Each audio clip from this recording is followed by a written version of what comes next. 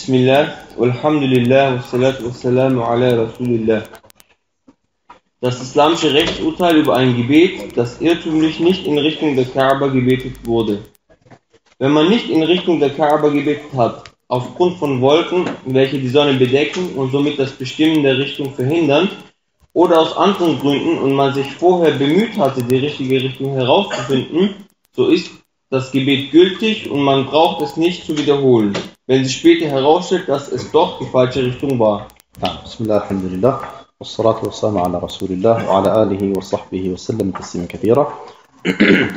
Äh, wichtig an dieser Stelle ist zu betonen, die Person hat sich Mühe gegeben, die richtige Richtung herauszufinden, konnte sie aber nicht herausfinden.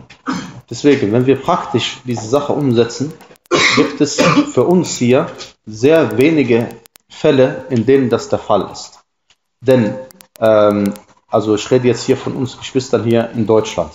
Denn entweder man befindet sich an, an einem Ort, an dem Muslime sind, dann fragt man die Muslime.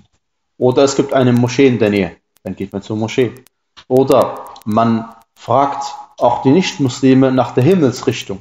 Weil wenn du weißt, dass in Deutschland die Qibla etwa Südosten ist, dann reicht es zu wissen, wo die Sonne aufgeht oder die Sonne untergeht. Und du kannst selbst abschätzen, wo die Qibla ist. Oder man hat seinen Kompass. Oder man hat sein Handy, heutzutage sein Smartphone und kann herausfinden, äh, wo die richtige äh, Qibla ist. Das heißt, die Möglichkeiten, äh, dass andere Leute sehen das an den Sternen bei Nacht, können das sehen. Ja? Wenn sie wissen, der Nordpolarstern, dann weißt du, das ist der Nord. Südpolarstern, weißt du, was der Süd. Ja? So einfach geht das. Das heißt, die Leute sind unterschiedlich. Manche äh, können es an der einen Sache erkennen, andere an der anderen Sache erkennen.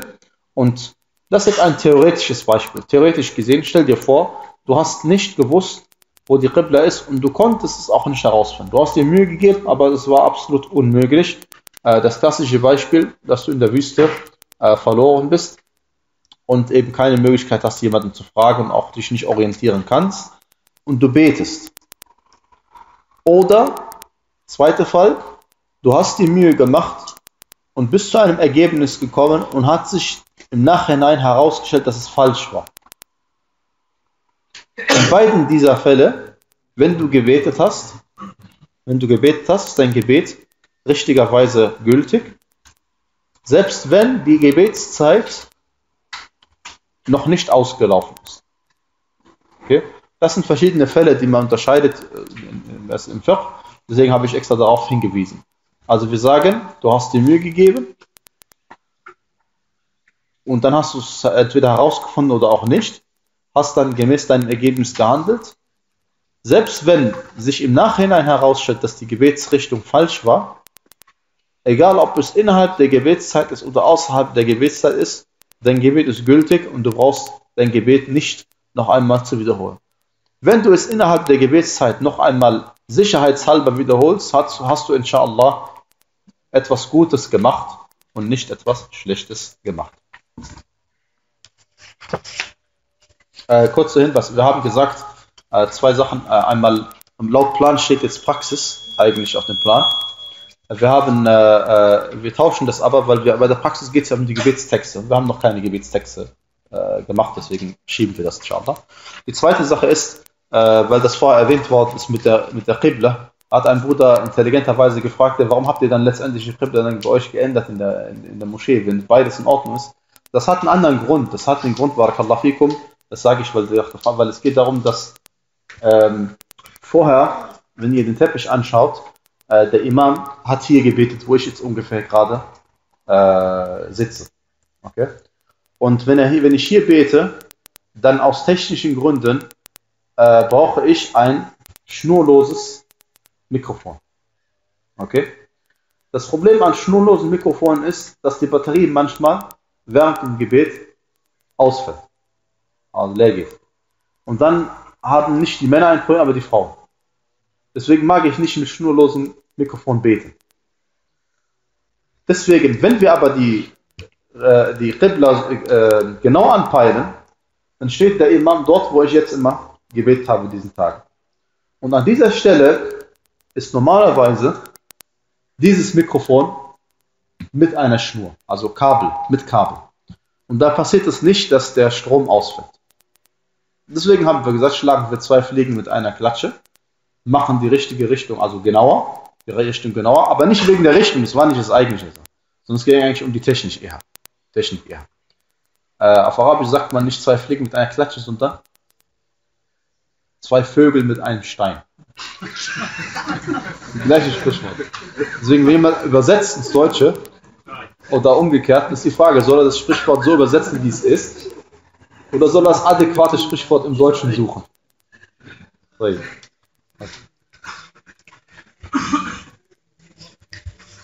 Wenn eine vertrauenswürdige Person kommt, während der Muslim gerade betet und, und, und ihm die korrekte Gebetsrichtung mitteilt, so muss er sich sofort im Gebet in die Richtung wenden und sein Gebet ist gültig. Das Stehen im Gebet El-Qiyam. Es ist Pflicht, im Stehen zu beten. Das ist eine Säule des Gebets Rukun, außer für denjenigen, der das Gebet bei Angst oder das Gebet während eines heftigen Gefechtes verrichtet. Ihm ist es erlaubt, auf einem Reittier oder ähnlichem zu beten. Den Kranken, der nicht stehen kann. Er betet im Sitzen, wenn er dazu imstande ist. Falls er das nicht kann, betet er auf der Seite liegen. Na, also erstmal, das äh, Qiyam ist der, äh, das erste Rukun des Salah. Zweifellos ist der Qiyam ein Rukun des Salah. Das ist ein Bestandteil des Salah und ohne diesen Rukun ist das Gebet ähm, äh, ungültig. Ähm, es gibt immer, liebe Geschwister, etwas, was man im Arabischen Al-Asl nennt. Al-Asl ist die Grundlage oder die Ausgangslage. Wovon gehen wir grundsätzlich aus? Wenn nicht, dass jemand kommt und sagt, ja, aber beim freiwilligen Gebet, aber beim Nachtgebet, aber beim Angstgebet, aber beim... Ach, das sind Far'iyat, das sind sagt man, Nebensächlichkeiten. Wir gehen jetzt erstmal von dem grundsätzlich aus. Was ist grundsätzlich? Wenn wir vom Salah sprechen, sprechen wir von den fünf Salah, die Allah Azza wa Jal seinem Propheten sallallahu alaihi wasallam direkt ohne Vermittler mitgeteilt hat in der Himmels- und Nachtreise. Laylat al-Isra wal Mi'raj. Davon reden wir grundsätzlich. Danach sagen wir die Ausnahmen. Aber es macht keinen Sinn zu sagen, es ist ein Fard in dem Salah, in dem Salah, in dem Salah, in dem Salah nicht. Nein, wir sagen, erstmal, das Qiyam ist ein Rukun des Salah. Das ist eine, eine Säule des Salah, ein Bestandteil des Salah, ein Fard des Salah. Nenn es wie du möchtest. Ausnahmen, sagt man auf Deutsch, bestätigen die Regel. Weil sie ja ein paar Ausnahmen sind, sind die jetzt für uns nicht wichtig. Wir wollen nicht durcheinander werden. Wir wollen eine grundsätzliche Sache. Es gibt so und so viele Voraussetzungen, es gibt so und so viel Rukun, es gibt so und so viele Wajibat, es gibt so und so viel Sunnah und das war's. Später gucken wir die einzelnen Gebete an. Okay? Deswegen, das, ähm, das, äh, deswegen sagen wir korrekterweise, beim, Nach beim, beim Salatul Khawf und bei, äh, die, bei allen Gebeten ist das Stehen ein Rücken, aber er entfällt manchmal. Er bleibt immer noch ein Rücken, aber er entfällt aufgrund der Lage. Äh, ich meine jetzt speziell das äh, Gebet in der, bei Angst. Ja? Das Gebet bei Angst, wenn ich zum Beispiel Angst habe, gesehen zu werden. Deswegen setze ich mich hin, damit niemand mich sehen kann, weil ich Angst um mein Leben habe. Oder Angst um mein Vermögen habe. Oder Angst um meine Würde habe. Äh, in diesem Fall, ich bete im Sitzen, weil ich Angst habe, wenn ich gesehen werde, dass mir großer Schaden zugefügt wird. Es bleibt immer noch ein Rücken des Salah, aber in diesem Fall entfällt er. Es ist ein Unterschied, ob ich sage, grundsätzlich ist es kein Rücken oder ob ich sage, es ist ein Rücken, aber er entfällt in die Situation. Weil sobald die Situation vorüber ist, muss ich wieder diesen Rücken ausführen. Also sollte während des Salah meine Angst weggehen, dann bete ich mein Gebet, so wie es vorgeschrieben ist. Dann sagt der Autor, ähm, was den Kranken angeht, Deswegen geht es natürlich wieder hier auch um das, um das Fard-Salah, logischerweise. Er betet im Sitzen, wenn er nicht im Stehen betet. Grundlage für das Hadith von Imran ibn Hussein, anhu, wo der Prophet sagt, Salli qa'iman fa'in lam tastati' faqa'idan fa'in lam tastati' fa'ala jam. Das heißt, bete im Stehen. Solltest du nicht können, dann betest du im Sitzen. Und wenn du auch nicht kannst, dann betest du im Liegen, wie der Autor gesagt hat, rahimahullah. Und ähm, man betet im Liegen, ähm, das heißt, indem man äh, auf der rechten Seite sich hinlegt mit dem Gesicht in Richtung Qibla. Sollte das nicht möglich sein, dann macht man es auf der linken Seite. In Richtung Qibla, mit dem Gesicht in Richtung Qibla. Wie beim, wenn man den Toten begräbt. Und sollte das auch nicht möglich sein, dann macht man es auf dem Rücken. Und auf dem Rücken haben manche Gelehrte gesagt, dass man seinen Oberkörper leicht anhebt und äh, damit man eben die Qibla anpeilt. Denn grundsätzlich muss man sich in Richtung Qibla wenden. Na.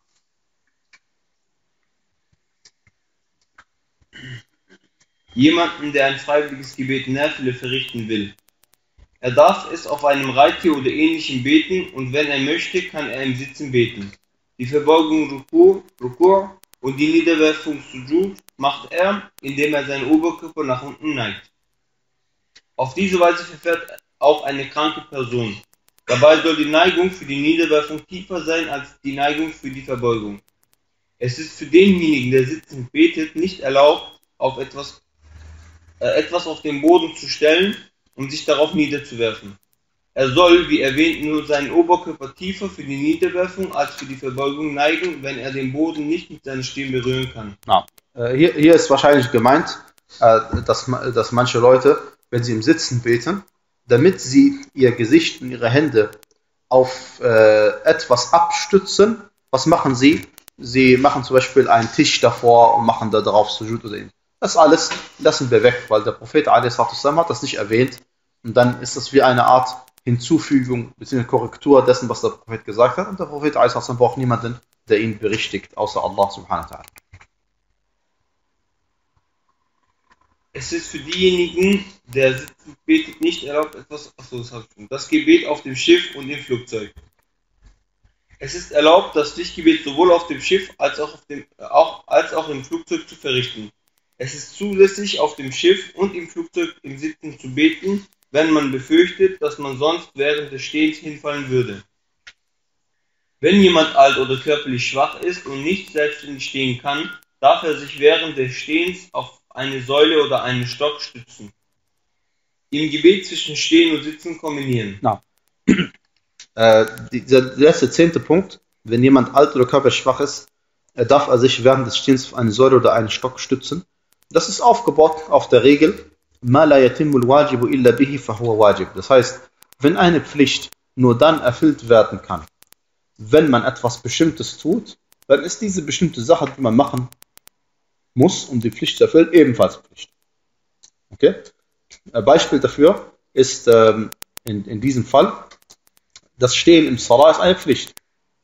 Sogar ein Rücken, nicht nur ein Wajib wenn du nur stehen kannst, indem du dich auf etwas abstützt, dann ist das sich abstützen ebenfalls Pflicht, genauso wie das Stehen. Weil das ist ein Mittel zum Zweck. Und genauso, ein anderes Beispiel ist der Wudu.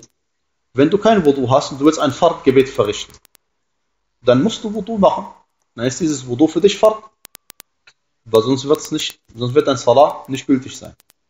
Um, andersrum, wenn, das, wenn du ein Salah verrichten möchtest, das freiwillig ist, dann dieses freiwillige Salah ist freiwillig, also ist auch der Weg dorthin freiwillig. Also ist auch der Wudu für dieses Salah freiwillig im Sinne von, du musst ja nicht beten, aber es ist trotzdem Voraussetzung dafür. Das ist die Regel, die dieser Sache zugrunde liegt. Diesem widerspricht nicht, dass in der Sunna überliefert worden ist, über den Propheten sallallahu alaihi wasallam, dass er einmal sah, wie in der Moschee ein Seil befestigt worden ist. Und dann fragte er nach diesem Seil, dann sagte man ihm, dass seine, eine seiner Frauen oder eine seiner Töchter äh, sich bei diesem Seil abstützt im, Nacht, im freiwilligen Nachtgebet. Und dann hat der Prophet sallallahu alaihi wasallam angeordnet, dass man dieses Seil äh, wegmacht und beseitigt. Warum widerspricht das dieser Sache hier nicht? Weil hier geht es um das freiwillige Gebet. Beim freiwilligen Gebet brauchst du dich gar nicht stützen, sondern du darfst, du darfst dich hinsetzen. Und du sollst ja bei den freiwilligen Gebeten nicht so viel machen, dass du davon überdrossig wirst. Also irgendwann wird das für dich zu viel.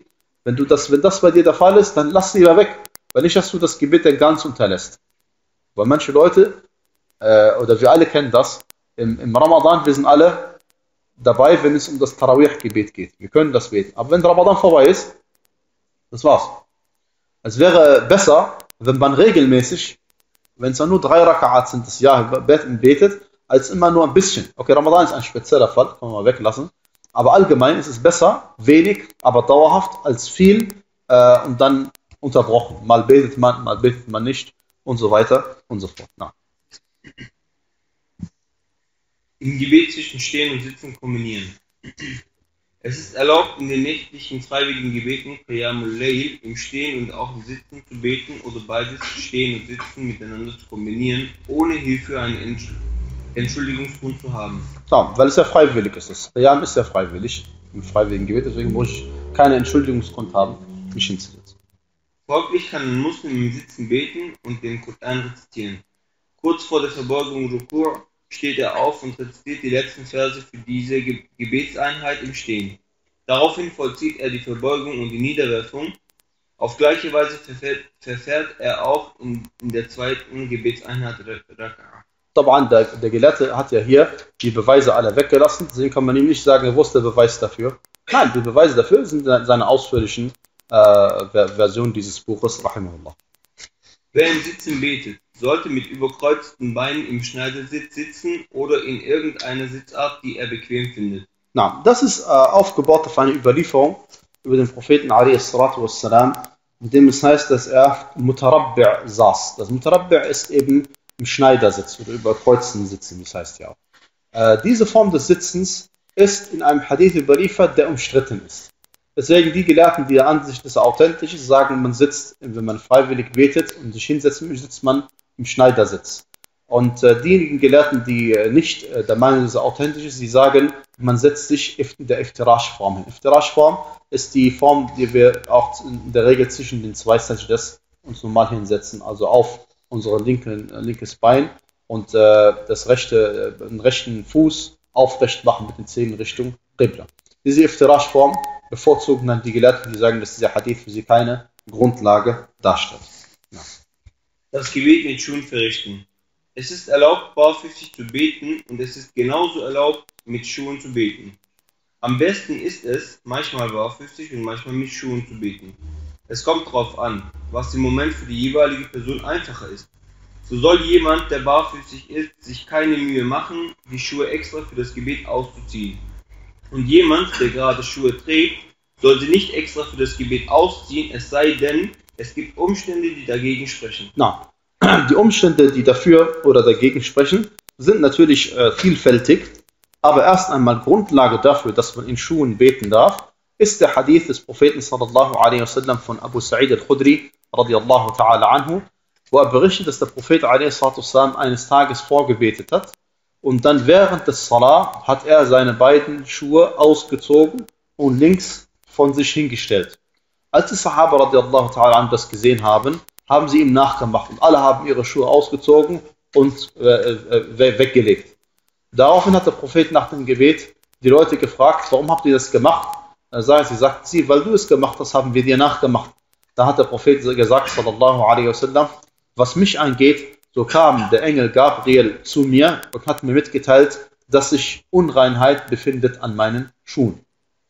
Aus diesem Hadith entnehmen wir deutlich, dass der Prophet salam mit Schuhen angefangen hat zu beten und dass das Gebet deswegen so in Ordnung sein muss. Das ist die erste Sache. Die zweite Sache, wir entnehmen daraus, dass wenn jemand ein Gebet beginnt und nicht bemerkt hat, dass an ihm Najasa ist, dass an ihm eine gesetzlich betrachtete Unreinheit sich befindet, dass er in diesem Fall sein Salah ist gültig, solange er nicht davon Bescheid weiß.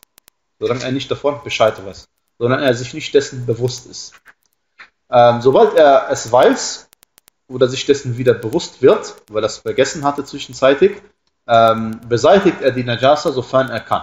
Wie in diesem Fall, die Schuhe kannst du ausziehen. Das ist eine, eine Bewegung innerhalb des Salah, zugunsten des Gebetes. Und das ist in Ordnung. Eine Bewegung des, innerhalb des Salah zugunsten des Gebetes. Denn wenn du das nicht machst, dann wird dein Gebet ungültig. Und äh, das ist die, die Grundlage für diesen Hadith. Aber die Frage ist jetzt grundsätzlich, was soll man machen? Ach, Allah Azza hat dir das Leben einfach gemacht. Er hat dir gesagt, du darfst mit Schuhen beten, du darfst ohne Schuhe beten. Deswegen betest du in dem Zustand, in dem du dich gerade befindest. Hast du gerade Schuhe an, betest du mit Schuhen. Hast du keine Schuhe an, betest du mit Schuhen. Warum willst du extra Schuhe anziehen oder extra Schuhe ausziehen? Wenn du das machst, brauchst du eine Grundlage. Also wenn ich sage, ich bete lieber mit Schuhen, weil der Prophet sallallahu alaihi wasallam gesagt hat, dann brauche ich diesen Hadith, was er gesagt hat. Habe ich aber nicht. Es sei denn, es gibt einen Grund. Und zwar, man möchte, es gibt einen Hadith natürlich diesbezüglich, weil es hier geht um zur Unterscheidung. Es hier geht um die Unterscheidung ähm, von Andersgläubigen. Und deswegen, wenn es einen Anlass gibt, Schuhe anzuhaben oder umgekehrt Schuhe auszuziehen, dann macht es Sinn, dass man danach handelt. Beispiel, man möchte den Leuten zeigen, dass man in Schuhen beten darf, weil die Leute das nicht wissen und weil man Vorbild ist und die Leute dadurch dann lernen, dass es erlaubt ist gemäß der Sunna des Propheten und man macht es, dann ist es eine gute, ein guter Beweggrund. Umgekehrt, wenn man befürchtet, dass es zu einem Konflikt geht, kommt, weil unter Leuten ist, die der Ansicht sind, dass man nicht mit Schuhen beten darf, dann versucht man diesen Konflikt natürlich zu vermeiden. Was macht keinen Sinn, dass man maximal eine Sunna umsetzt, um dadurch einen Streit zu verursachen. Ähm, das, ist, das ist der zweite Fall.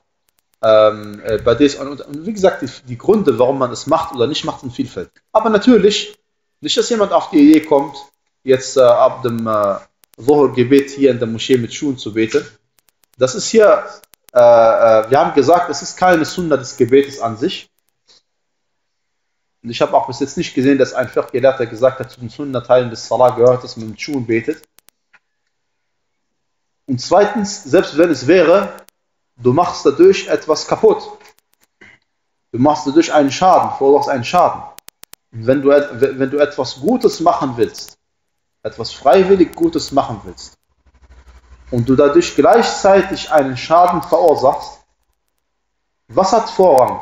Den Schaden zu beseitigen, also den Schaden zu vermeiden, und dadurch macht man diese freiwillige Sunna nicht, oder man macht die freiwillige Sunna und verursacht dadurch einen Schaden. Die Ulama sagen, zweifellos ist das Unterlassen der Sunna und das Beseitigen oder äh, dafür zu sorgen, dass der Schaden gar nicht erst entsteht, hat Vorrang gegenüber der Umsetzung der Sunna, wenn man gleichzeitig dadurch einen Schaden verursacht. Und das ist auf Arabisch die Regel, Dar'ul Mafsada awla min jalbil Maslaha.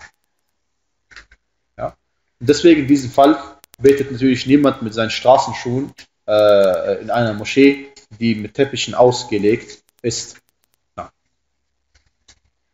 Wenn man seine Schuhe auszieht, soll man sie nicht auf die rechte Seite legen, sondern nur auf die linke Seite, falls dort niemand betet. Andernfalls sollte man sie zwischen seine Füße niederlegen. Die Aufforderung, dies zu tun, wurde in einem authentischen Hadith des Propheten sallallahu alaihi wasallam überliefert. Das Gebet auf dem Podest Minbar. Der Gebetsleiter Imam darf auf einem hohen Platz, wie zum Beispiel dem Podest Minbar, beten, um den Leuten das Gebet beizubringen. So steht der Imam auf dem Podest, eröffnet das Gebet durch das Sprechen von Allahu Akbar, rezitiert Quran-Verse und vollzieht die Verbeugung und richtet sich wieder auf während er noch auf diesem Platz steht, also richtet sich wieder auf und während er noch auf diesem Platz steht. Dann geht er rückwärts die Treppe hinunter, damit er die Niederwerfung Sujud auf dem Boden nahe an der ersten Treppenstufe des Podests vollziehen kann. Schließlich steigt er nach der Niederwerfung wieder auf das Podest und tut in der zweiten Gebetseinheit Rak'ah das gleiche, was er zuvor in der ersten getan hat. Das, das darf der, äh, der Lehrer darf manchmal Dinge machen, äh, die andere nicht tun, wie zum Beispiel, was hier beschrieben worden ist, äh, ohne jetzt darauf äh, viel einzugehen, geht es darum, dass normalerweise beten wir alle äh, das gewöhnliche Gebet auf der gleichen Ebene.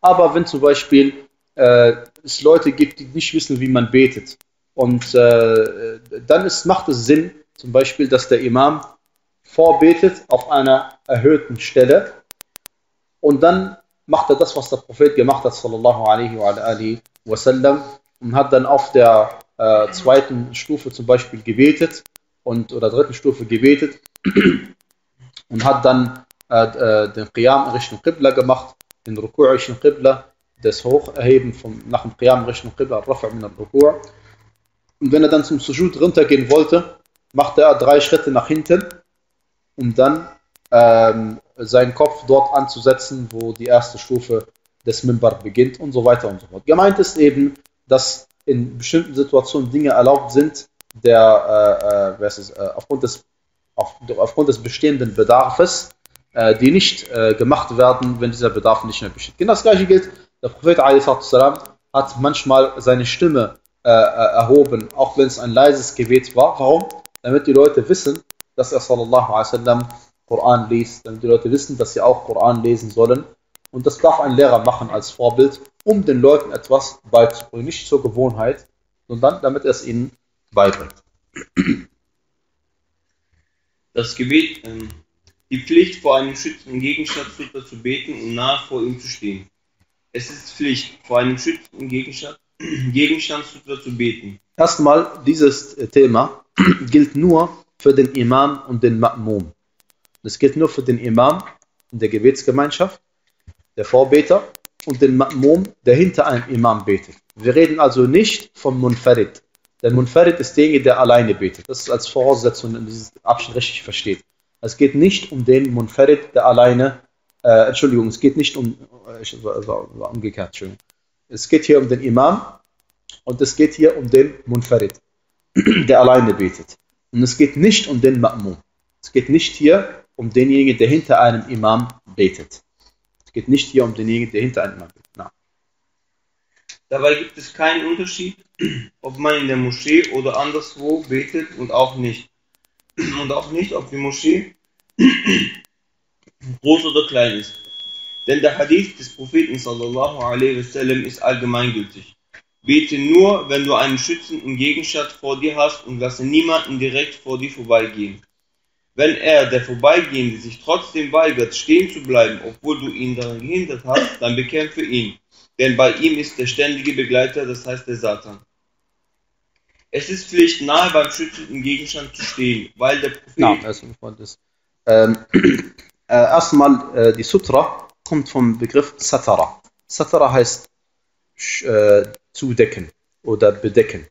Und gemeint ist, wie gesagt, dass du etwas machst zwischen dir und deiner Qibla, das aufstellst ähm, oder dich irgendwo hin bewegst, dass zwischen dir und der Qibla sich etwas befindet, damit niemand äh, aus Versehen äh, vor dir läuft, während du dich in deinem Salah befindest. Das nennt man Sutra.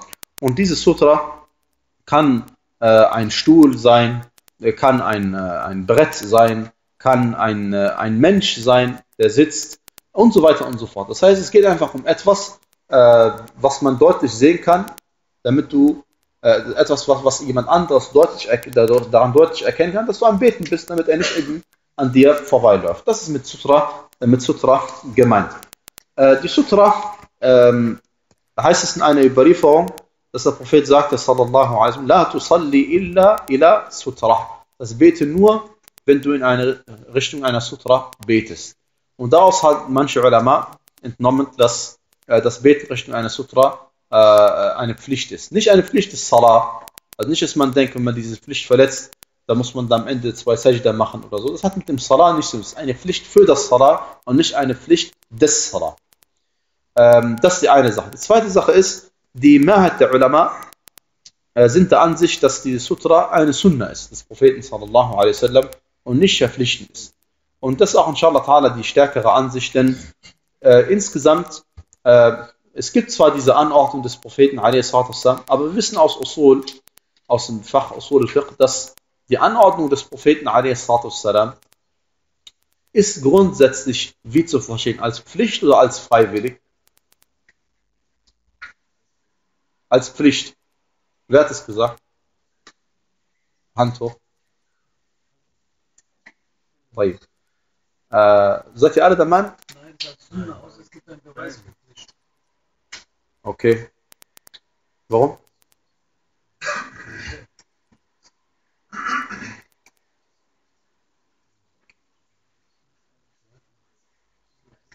Also ist immer, ist immer, ist immer sehr schön, dass wir zwei verschiedene Aussagen haben, die übrigens von Gelehrten tatsächlich vertreten werden.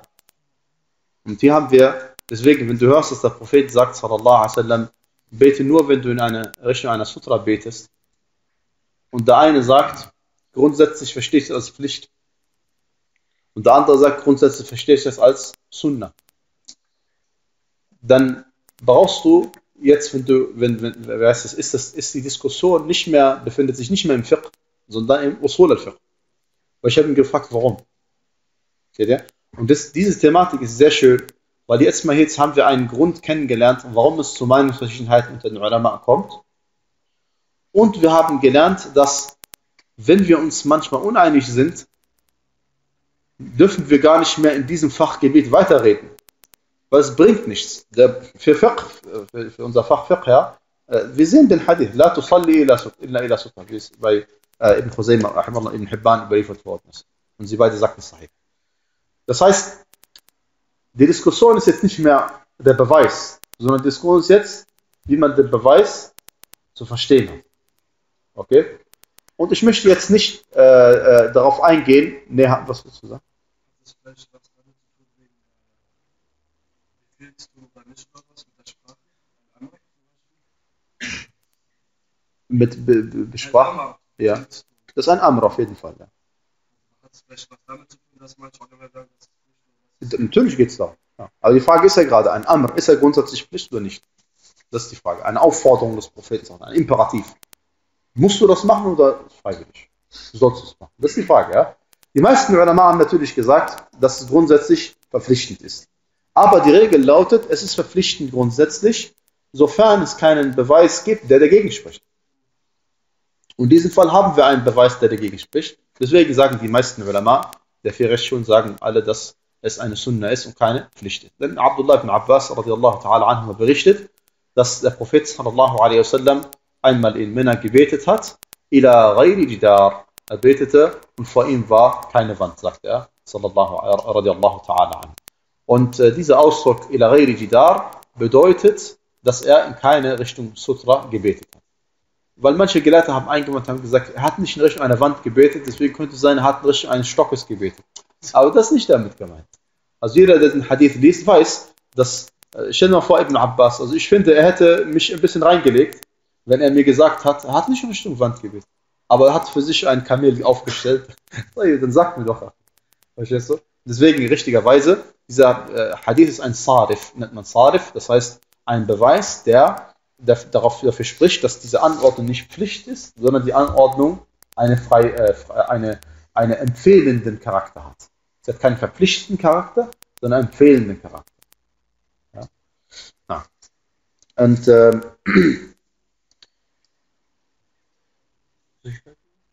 Äh, na. Es ist Pflicht, nahe beim schützenden Gegenstand zu stehen, weil der Prophet sallallahu alaihi wasallam dies befahl. Aber wenn wir schon gesagt haben, dass die Sutta an sich keine Pflicht ist, Pflicht ist auch keine Pflicht, logischerweise, aber es ist eine freiwillige Sache. Weil äh, nahe ist relativ. Gemeint ist, dass ich nicht, gemeint ist nicht, dass man daran klebt, wenn man Sujud macht, dass der Kopf direkt daran klebt. Nein, man lässt einen gewissen Abstand dazwischen, wie es heißt, damit ein, ein kleines Schaf dabei äh, laufen könnte. Ähm, aber äh, auf der anderen Seite soll man auch nicht die, die Sutra am Ende der, der, Moschee, also ich könnte auch jetzt hier beten und die Sutra da vorne betrachten als meine Wand 10 Meter weiter. Okay? Das ist mit Sicherheit zu weit. Weil es geht ja um den Sinn, dass niemand vor dir läuft. Zwischen der Stelle, auf die sich der Prophet sallallahu alaihi wasallam niederwarf und der Wand, vor der er betete, war ungefähr so viel Platz, dass ein Schaf hätte durchlaufen können. Wer diese Entfernung einhält, hat die Pflicht erfüllt, sich einem schützenden Gegenstand zu nähern wie hoch der schützende Gegenstand sein muss. Der schützende Gegenstand muss ungefähr so hoch wie eine oder zwei gespreizte Handspannen über dem Boden sein. Denn der Prophet sallallahu alaihi wasallam sagte, wenn jemand von euch etwas vor sich hinstellt, was so hoch wie, wie der Stab am Ende eines Kamelsattels ist, so soll er beten und sich nicht darum kümmern, wer hinter diesem Gegenstand vorbeigeht. Na, also erstmal, was die Höhe des äh, Gegenstandes angeht, es geht jetzt darum, logisch gesehen. Wir haben ja gesagt, die Sutra ist eine Sunna äh, des Propheten. Das heißt, wir sollen das unbedingt einhalten. Praktisch gesehen, was wir sehen, manche Leute, sie betreten die Moschee und stellen sich inmitten des Raumes hin und beten zwei Rakat. Sagen wir, ach, warum willst du nicht, gehst du nicht nach vorne, ein bisschen an die Seite, an den Rand, äh, stellst einen Stuhl vor dich auf, dann ist die Sunna des Propheten, was er umsetzt. Weil der Muslim sollte sich daran gewöhnen, diese Sunna umzusetzen. Und nicht, weil er gelernt hat, dass es Sunna ist oder nicht Wajib ist, dass es aus, äh, weglässt. Nein. Das ist die erste Sache. Die zweite Sache ist, natürlich, wenn du eine Sutra vor dir haben, du sollst jemand auch sehen können. Das heißt also, stell dir mal vor, du legst äh, auf den Boden ein Tuch. Dann ist es so flach, dass es natürlich übersehen wird. Übersehen wird. Deswegen soll es eine gewisse Höhe haben. Und der Prophet a.s. redet hier, weil hier steht der Stab am Ende eines Kamels. Gemeint ist die Rückenlehne. Die Rückenlehne am Ende des Kamelsattels. Und diese soll eine Elle oder zwei Ellen groß sein. Das heißt, Barakallahu fikum, wenn man das zur Verfügung hat, ist gut. Aber wenn man das nicht zur Verfügung hat, das heißt nicht, dass du es weglässt. Das heißt also angenommen, ich habe eine Möglichkeit, einen Stuhl vor mich aufzustellen. Ein Stuhl in der Regel ist hoch genug. Dann mache ich das. Wenn ich aber keinen Stuhl habe und ich habe nur zum Beispiel diesen Koranhalter. Wir alle kennen diesen Koranhalter, wo man den Mushaf drauflegt. Dieser Koranhalter, da könnte sein, wenn wir von zwei Ellen ausgehen, ist auf jeden Fall zu klein. Und bei einer Elle wird es schon knapp. Dann benutze ich den trotzdem. Warum? Weil ich mache das, was mir zur Verfügung steht. Genauso gibt es eine Überlieferung, dass wenn man keine Sutra hat, dann soll man eine Linie malen. Du meinst natürlich nicht, dass du jetzt im Teppich hier mit deinen Stift rausholst und eine Linie malst, sondern wenn du zum Beispiel der, in der Wüste bist und Sand oder aus Erdboden und du willst beten, hast du zwei Möglichkeiten. Du machst gar nichts, weil du keine Sutra hast. Ja? Dann legst du gar nichts hin, du wählst einfach. Oder du machst eine Linie, damit, wenn jemand kommt, wenigstens sieht die Linie und damit er nicht vor dir läuft. Oder damit er weiß, hinter der Linie darf ich laufen und störe dadurch den Betenden nicht. Weil der Sinn der Sutra ist ja, dass man hinter der Sutra dann laufen darf, logischerweise. So. Darüber gibt es ein, äh, eine Überlieferung, die daif ist, aber trotzdem inhaltlich in diesen Ordnung. Weil du machst das, was dir zur Verfügung steht. Du hast keine Sutra, die eine Elle ist, zwei Ellen ist, du machst eine halbe Elle. Hast du keine halbe Elle, machst du wenigstens irgendwas. Und wenn das nur dein, äh, deine Kopfbedeckung ist, beim Mann, wie zum Beispiel seine, manchen arabischen Männer, sie haben Kopfbedeckungen, die Männer, dann legt er das hin, damit die Leute wissen, ach, wenn du laufen willst, bitte dahinter laufen und stör mich nicht dabei. Deswegen, äh, das gehört zur äh, Thematik, auch wenn die Überlieferung manchmal daif ist, äh, was den Strich angeht, trotzdem stimmt sie mit den Grundregeln überein. Ich mache das, was ich kann. Und deswegen handelt man trotzdem nach diesem Inhalt auch wenn diese Überlieferung dem Propheten nicht zuzuschreiben ist. Man soll direkt vor dem schützenden Gegenstand stehen, denn das ist die offizielle Bedeutung der Aufforderung des Propheten. Offensichtlich. Die offensichtliche äh, Bedeutung der Aufforderung des Propheten sallallahu alaihi wasallam, vor einer Sutra zu beten.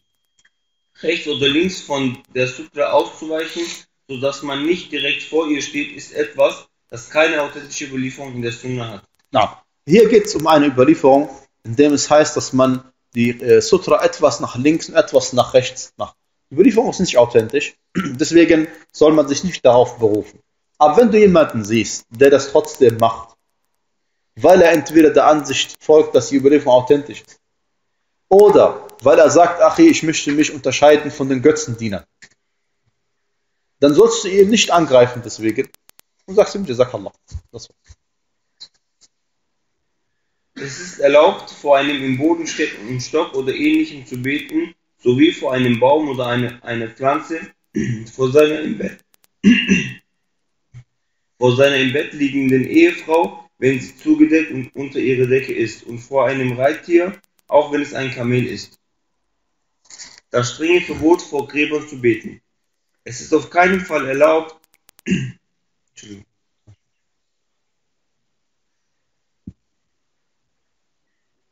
Es ist auf keinen Fall erlaubt. Okay.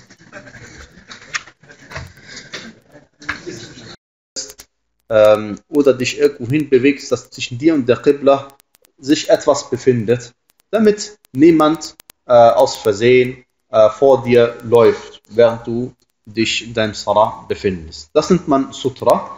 Und diese Sutra kann ein Stuhl sein, äh, kann ein, äh, ein Brett sein, kann ein, ein Mensch sein, der sitzt und so weiter und so fort. Das heißt, es geht einfach um etwas, äh, was man deutlich sehen kann, damit du äh, etwas, was, was jemand anderes deutlich, daran deutlich erkennen kann, dass du am Beten bist, damit er nicht eben an dir vorbeiläuft. Das ist mit Sutra, äh, mit Sutra gemeint.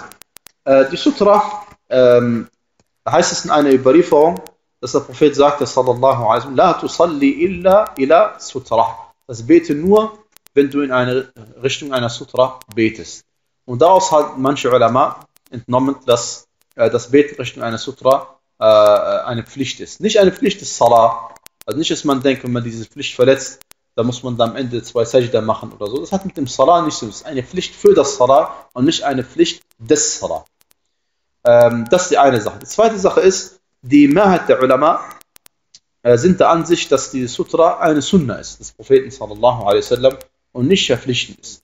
Und das ist auch inshallah ta'ala die stärkere Ansicht, denn äh, insgesamt, äh, es gibt zwar diese Anordnung des Propheten wasallam, aber wir wissen aus Usul, aus dem Fach Usul al-Fiqh, dass die Anordnung des Propheten wasallam ist grundsätzlich wie zu verstehen, als Pflicht oder als freiwillig? Als Pflicht. Wer hat es gesagt? Hand hoch. Äh, seid ihr alle der Mann? Nein, Sunna aus, es gibt einen Beweis für Pflicht. Okay. Warum?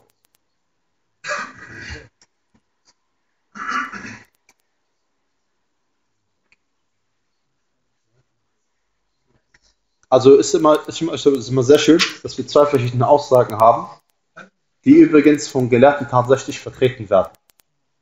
Und hier haben wir, deswegen, wenn du hörst, dass der Prophet sagt, sallallahu alaihi wasallam, bete nur, wenn du in eine Richtung einer Sutra betest. Und der eine sagt, grundsätzlich verstehe ich das als Pflicht. Und der andere sagt, grundsätzlich verstehe ich das als Sunnah. Dann brauchst du jetzt, wenn du, wenn, wenn, wer heißt das, ist das, ist die Diskussion nicht mehr, befindet sich nicht mehr im Fiqh, sondern im Usul al-Fiqh. Aber ich habe ihn gefragt, warum. Und das, diese Thematik ist sehr schön, weil jetzt mal jetzt haben wir einen Grund kennengelernt, warum es zu Meinungsverschiedenheiten unter den Ulama kommt. Und wir haben gelernt, dass wenn wir uns manchmal uneinig sind, dürfen wir gar nicht mehr in diesem Fachgebiet weiterreden. Weil es bringt nichts. Der, für, Fiqh, für, für unser Fach Fiqh, ja, äh, wir sehen den Hadith, La tusalli illa ila sutta, bei äh, Ibn Khuzaymah, Ibn Hibban überliefert worden ist. Und sie beide sagten Sahih. Das heißt, die Diskussion ist jetzt nicht mehr der Beweis, sondern die Diskussion ist jetzt, wie man den Beweis zu verstehen hat. Okay? Und ich möchte jetzt nicht äh, äh, darauf eingehen. Nee, was willst du sagen? Das vielleicht was du bei Mischwörters mit der Sprache? Mit Be Be Sprache? Ja. Das ist ein Amr auf jeden Fall. Ja. Hat es vielleicht was damit zu tun, dass manche sagen, dass Natürlich geht es da. Ja. Aber die Frage ist ja gerade, ein Amr, ist er grundsätzlich Pflicht oder nicht? Das ist die Frage. Eine Aufforderung des Propheten, ein Imperativ. Musst du das machen oder freiwillig? Du sollst es machen. Das ist die Frage, ja. Die meisten Ulama haben natürlich gesagt, dass es grundsätzlich verpflichtend ist. Aber die Regel lautet, es ist verpflichtend grundsätzlich, sofern es keinen Beweis gibt, der dagegen spricht. Und in diesem Fall haben wir einen Beweis, der dagegen spricht. Deswegen sagen die meisten Ulama, der vier Rechtsschulen sagen alle, dass es eine Sunna ist und keine Pflicht ist. Denn Abdullah ibn Abbas radiallahu ta'ala anhu berichtet, dass der Prophet sallallahu alaihi wasallam einmal in Männer gebetet hat, ila ghayri jidar. Er betete und vor ihm war keine Wand, sagt er, sallallahu radiallahu ta'ala anhu. Und äh, dieser Ausdruck ila ghayri jidar bedeutet, dass er in keine Richtung Sutra gebetet hat. Weil manche Gelehrte haben eingewandt und gesagt, er hat nicht in Richtung einer Wand gebetet, deswegen könnte es sein, er hat in Richtung eines Stockes gebetet. Aber das ist nicht damit gemeint.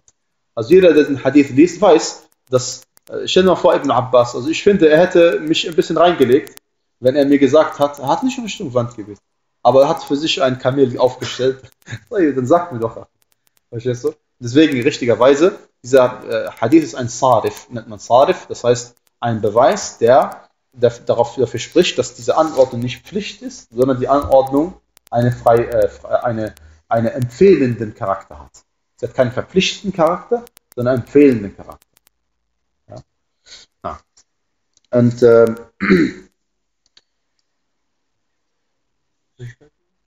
äh, na. Es ist Pflicht, nahe beim schützenden Gegenstand zu stehen, weil der Prophet sallallahu alaihi wasallam dies befahl. Taban, wenn wir schon gesagt haben, dass die Sutta an sich keine Pflicht ist, ist es auch keine Pflicht, logischerweise. aber es ist eine freiwillige Sache. Weil äh, Naha ist relativ. Gemeint ist, dass ich nicht, gemeint ist nicht, dass man daran klebt, wenn man Sujud macht, dass der Kopf direkt daran klebt. Nein, man lässt einen gewissen Abstand dazwischen, wie es heißt, damit ein, ein kleines Schaf dabei äh, laufen könnte. Ähm, aber äh, auf der anderen Seite soll man auch nicht die, die Sutra am Ende der, der, Moschee, also ich könnte auch jetzt hier beten und die Sutra da vorne betrachten als meine Wand 10 Meter weiter. Okay? Das ist mit Sicherheit zu weit. Weil es geht ja um den Sinn, dass niemand vor dir läuft. Zwischen der Stelle, auf die sich der Prophet sallallahu alaihi wasallam niederwarf und der Wand, vor der er betete, war ungefähr so viel Platz, dass ein Schaf hätte durchlaufen können. Wer diese Entfernung einhält, hat die Pflicht erfüllt, sich einem schützenden Gegenstand zu nähern wie hoch der schützende Gegenstand sein muss. Der schützende Gegenstand muss ungefähr so hoch wie eine oder zwei gespreizte Handspannen über dem Boden sein.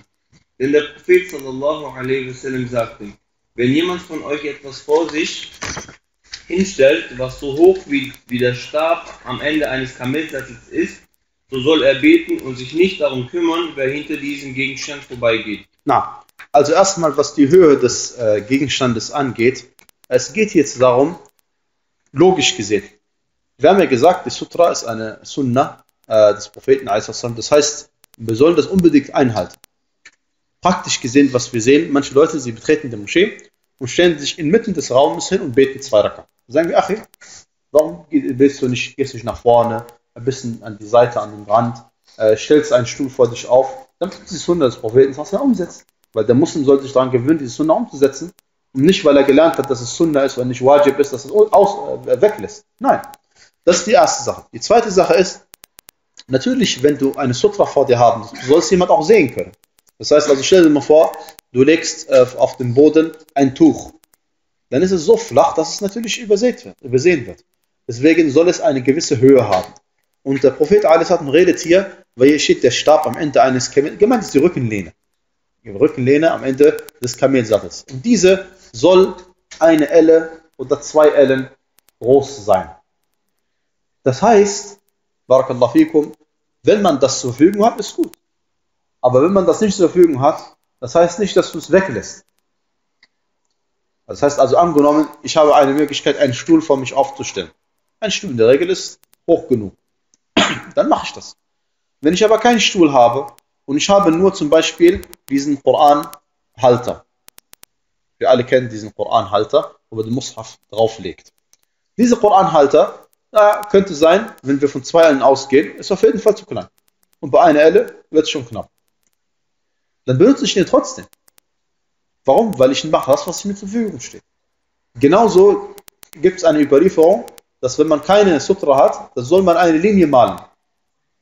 Gemeint ist natürlich nicht, dass du jetzt im Teppich hier mit deinen Stift rausholst und eine Linie malst, sondern wenn du zum Beispiel der, in der Wüste bist und Sand oder aus Erdboden und du willst beten, hast du zwei Möglichkeiten. Du machst gar nichts, weil du keine Sutra hast. Ja? Dann legst du gar nichts hin, du betest einfach. Oder du machst eine Linie, damit, wenn jemand kommt, wenigstens sieht die Linie und damit er nicht vor dir läuft. Oder damit er weiß, hinter der Linie darf ich laufen und störe dich den Betenden nicht. Weil der Sinn der Sutra ist ja, dass man hinter der Sutra dann laufen darf, logischerweise. So. Darüber gibt es ein, äh, eine Überlieferung, die daif ist, aber trotzdem inhaltlich in Ordnung. Weil du machst das, was dir zur Verfügung steht. Du hast keine Sutra, die eine Elle ist, zwei Ellen ist, du machst eine halbe Elle. Hast du keine halbe Elle, machst du wenigstens irgendwas. Und wenn das nur dein, äh, deine Kopfbedeckung ist, beim Mann, wie zum Beispiel seine, äh, manchen arabischen Männer, sie haben Kopfbedeckungen, äh, die Männer, dann legt er das hin, damit die Leute wissen, ach, wenn du laufen willst, bitte dahinter laufen und stör mich nicht dabei.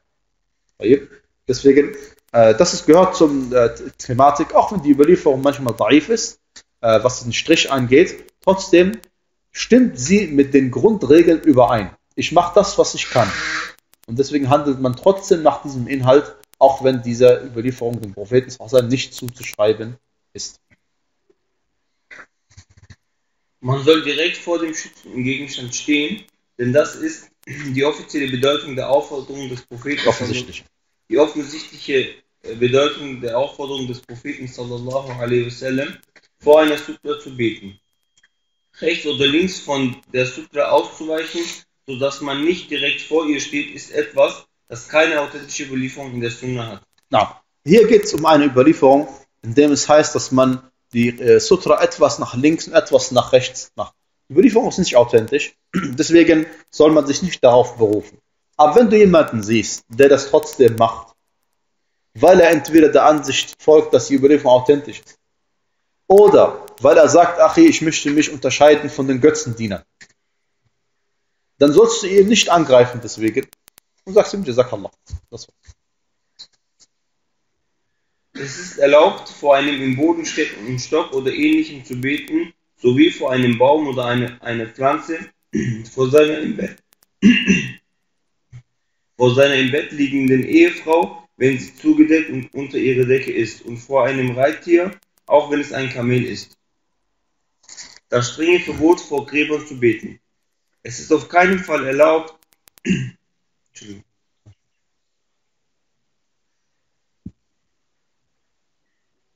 Es ist auf keinen Fall erlaubt, in der Regel ist hoch genug. Dann mache ich das. Wenn ich aber keinen Stuhl habe und ich habe nur zum Beispiel diesen Koran-Halter. Wir alle kennen diesen Koran-Halter, wo man den Mushaf drauflegt.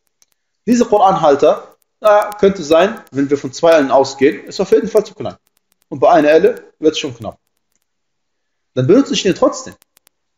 Warum? Weil ich mache das, was mir zur Verfügung steht. Genauso gibt es eine Überlieferung, dass wenn man keine Sutra hat, dann soll man eine Linie malen.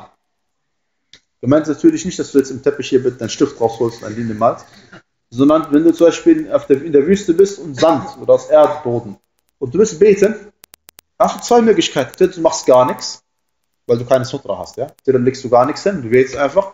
Oder du machst eine Linie, damit, wenn jemand kommt, wenigstens sieht die Linie und damit er nicht vor dir läuft. Oder damit er weiß, hinter der Linie darf ich laufen und störe dadurch den Betenden nicht. Weil der Sinn der Sutra ist ja, dass man hinter der Sutra dann laufen darf, logischerweise. So. Darüber gibt es ein, äh, eine Überlieferung, die daif ist, aber trotzdem inhaltlich in Ordnung. Weil du machst das, was dir zur Verfügung steht. Du hast keine Sutra, die eine Elle ist, zwei Ellen ist, du machst eine halbe Elle. Hast du keine halbe Elle, machst du wenigstens irgendwas. Und wenn das nur dein, äh, deine Kopfbedeckung ist, beim Mann, wie zum Beispiel seine, äh, manchen arabischen Länder, sie haben Kopfbedeckungen, äh, die Männer, dann benutzt, er das hin, damit die Leute wissen, ach, wenn du laufen willst, bitte dahinter laufen und stör mich nicht dabei. Deswegen, das ist, gehört zur äh, Thematik, auch wenn die Überlieferung manchmal daif ist, äh, was den Strich angeht, trotzdem stimmt sie mit den Grundregeln überein. Ich mache das, was ich kann. Und deswegen handelt man trotzdem nach diesem Inhalt, auch wenn diese Überlieferung dem Propheten nicht zuzuschreiben ist. Man soll direkt vor dem schützenden Gegenstand stehen, denn das ist die offizielle Bedeutung der Aufforderung des Propheten. Offensichtlich. Die offensichtliche äh, Bedeutung der Aufforderung des Propheten sallallahu alaihi wasallam, vor einer Sutra zu beten. Rechts oder links von der Sutra auszuweichen, sodass man nicht direkt vor ihr steht, ist etwas, das keine authentische Überlieferung in der Sunna hat. Na, hier geht es um eine Überlieferung, in dem es heißt, dass man die äh, Sutra etwas nach links und etwas nach rechts macht. Die Überlieferung ist nicht authentisch, deswegen soll man sich nicht darauf berufen. Aber wenn du jemanden siehst, der das trotzdem macht, weil er entweder der Ansicht folgt, dass die Überlieferung authentisch ist, oder weil er sagt, ach ich möchte mich unterscheiden von den Götzendienern, dann sollst du ihn nicht angreifen deswegen und sagst ihm Jazakallah. Das war's. Es ist erlaubt, vor einem im Boden steckenden Stock oder ähnlichem zu beten, sowie vor einem Baum oder eine, eine Pflanze, vor seiner, im Bett, vor seiner im Bett liegenden Ehefrau, wenn sie zugedeckt und unter ihrer Decke ist, und vor einem Reittier, auch wenn es ein Kamel ist. Das strenge Verbot, vor Gräbern zu beten. Es ist auf keinen Fall erlaubt, Entschuldigung.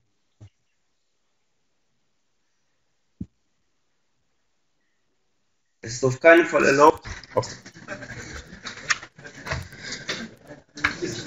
Nach rechts macht. Die Überlieferung ist nicht authentisch, deswegen soll man sich nicht darauf berufen.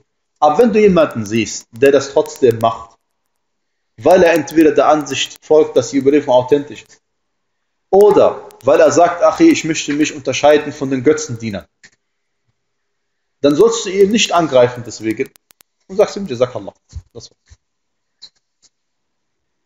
Es ist erlaubt, vor einem im Boden steckenden Stock oder ähnlichem zu beten, sowie vor einem Baum oder eine, eine Pflanze, vor seiner im Bett, vor seiner im Bett liegenden Ehefrau, wenn sie zugedeckt und unter ihrer Decke ist, und vor einem Reittier, auch wenn es ein Kamel ist. Das strenge Verbot, vor Gräbern zu beten. Es ist auf keinen Fall erlaubt, Entschuldigung.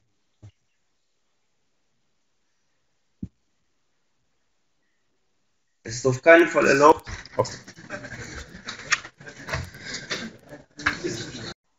das strenge Verbot vor Gräbern zu beten. Das strenge Verbot vor Gräbern zu beten. Es ist auf keinen Fall erlaubt, Entschuldigung.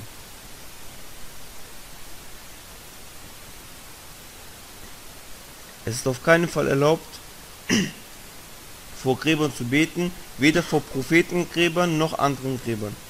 Das Verbot, vor, einem betenden, äh, vor einer betenden Person vorbeizugehen, und sei es auch in der heiligen Moschee in Mekka al-Masjid al-Haram. Es ist nicht erlaubt, vor einem Beteten zu gehen, wenn sie vor ihm eine Sutra befindet.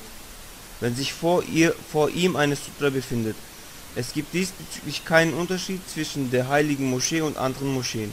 Das Verbot gilt für alle Orte aufgrund der allgemeinen, allgemeingültigen Aussage des Propheten sallallahu alaihi wasallam, wenn derjenige, der vor einem Betenden geht, wüsste, was er sich dadurch an Sünde aufgeladen hat, so hätte er es sicherlich bevorzugt, 40 im Stehen zu verharren, als vor ihm zu gehen. Mit vor dem Betenden gehen ist das direkte Vorbeigehen zwischen einem Betenden und dem Ort seiner Niederwerfung gemeint. Ja, dieser Hadith weist darauf hin, dass es strengstens verboten ist, für denjenigen, der äh, an einem Betenden vorbeilaufen möchte, vor ihm vorbeizulaufen, wenn er zwischen, sich, äh, zwischen dem Beten und, der, und seiner Sutra läuft. Und ähm, sollte eine Person ähm, nicht äh, eine Sutra vor sich haben, keine Sutra vor sich haben, dann schätzt man ab, wo er seinen Kopf aufsetzt, wenn er im Sujud ist.